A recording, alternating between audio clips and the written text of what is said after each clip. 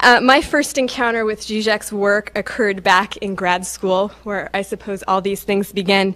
I was trying to use Kierkegaard as a theoretical model for uh, an argument about modernism that I was trying to make in my dissertation. And one of my advisors was just absolutely adamant that such a thing could not be done. And uh, she said that to have a dissertation with Kierkegaard, Gertrude Stein, and Conrad would just be weird. And as you can tell, I'm scarred for life.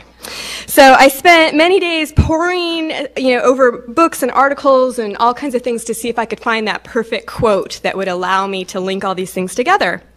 And one night, a friend of mine from grad school, Jim, emailed me. He had found a page from the ticklish subject and had typed it out in its entirety in the email.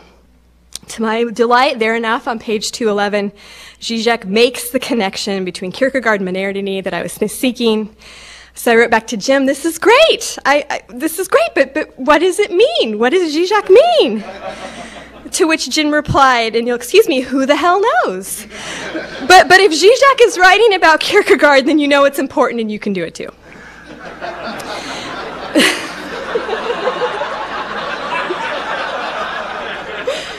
and this is a, fr- same friend, I should say, who was given a t shirt by his then girlfriend, now wife, and the t shirt had the initials WWZS.